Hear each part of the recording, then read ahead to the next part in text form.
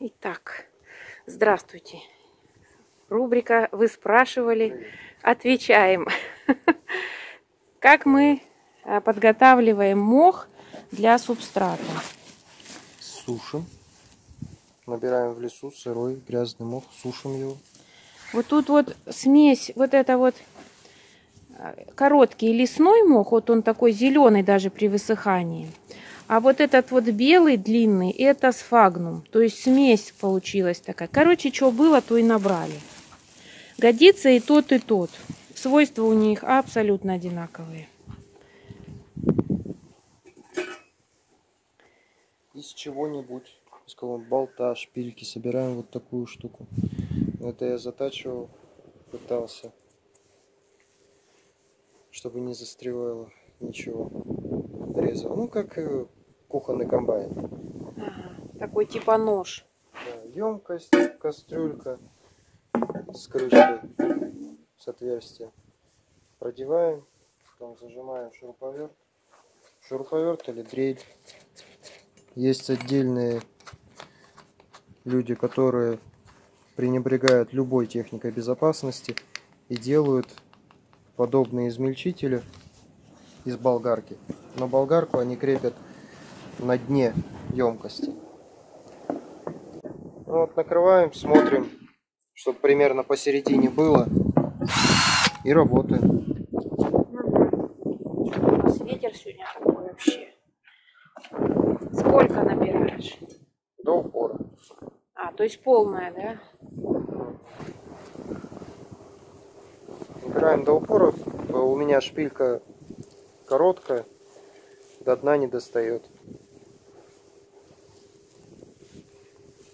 Вот, набрал, сколько влезло.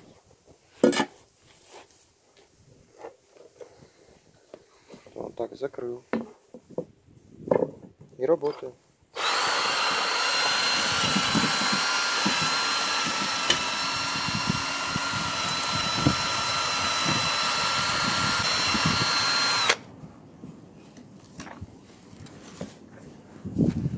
Ну, пока еще не Тут еще вообще пока еще мало, да? Мгм. Да, и смотрим, чтобы обороты были достаточные, потому что вот здесь он до полутора тысяч оборотов, ну, 1400. Это нормально. Как по мне.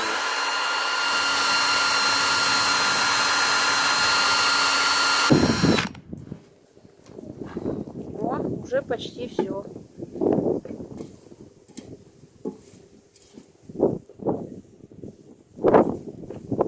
Сейчас еще маленько добавить, чтобы больше измельчилось. Раз. В полуготовую можно добавить еще совсем не готовую, да? Мгм.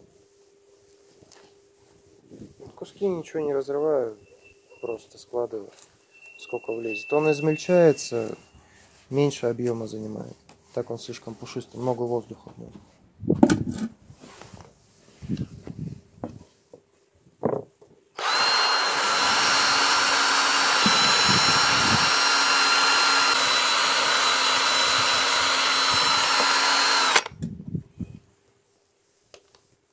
Ну, все. Меленько. Дальше просеиваем. Выбираем ящичек с э, подходящей для вас ячейкой. Можно мелко-мелко прям, совсем, чтобы мелкая была фракция. Можно такую более крупную. Вот сегодня мы более крупную берем фракцию. Конечно, это безветренную пог- погоду желательно делать. И на улице, чтобы в помещении не было пылища. Ну да, пылища от этого еще та. Вот здесь вот пыль коричневая, потому что это все-таки лесной мох, короткий. Там со всякими гнилушками, он растет же на всяком таком опаде.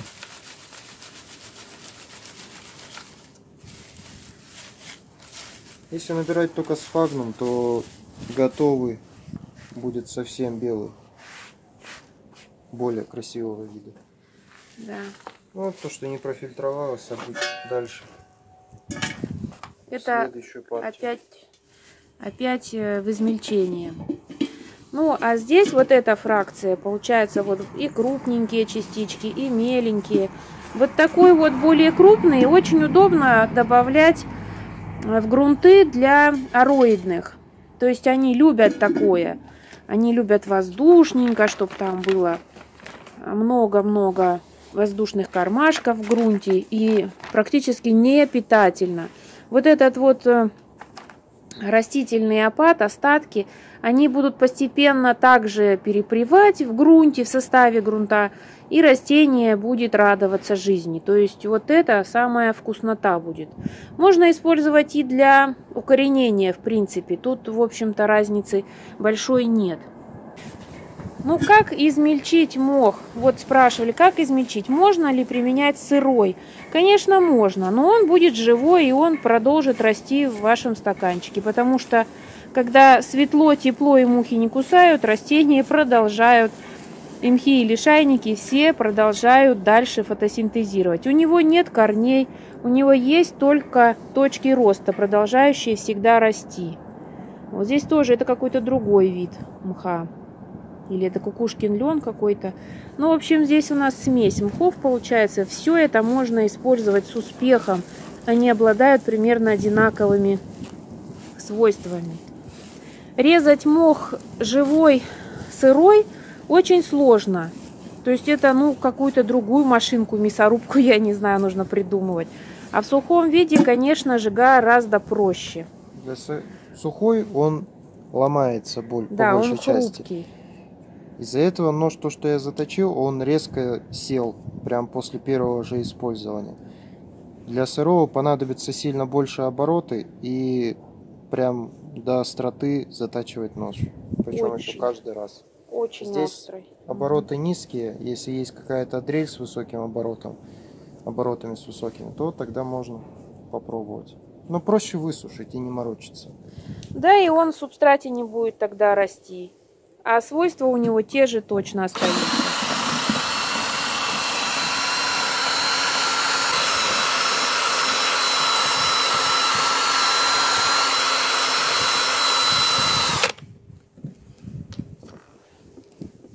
Ну вот, друзья, вы спрашивали, мы ответили, как и что мы делаем. Так, такого мха иногда больше нужно, иногда меньше. Ну, в общем, как по необходимости.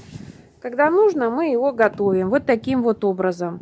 Высушенный при помощи дрели или шуруповерта, в общем, чего-то, что имеет крутящий момент. Такая вот самодельная насадочка, импровизированная крышечка и любая емкость удобная. У нас это вот кастрюлька. Ну, всего вам доброго. Используйте все подручные материалы для вашего блага. До свидания.